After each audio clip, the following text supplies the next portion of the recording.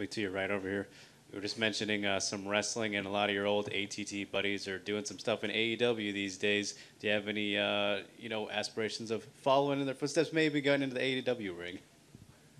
I don't pay attention to anything those losers do. So, you know, I'm focused on putting on the biggest and best fights in the world. You might see me in WWE one day, but you know, I don't think you're going to see me in a second tier promotion like AEW. Thanks, Cole.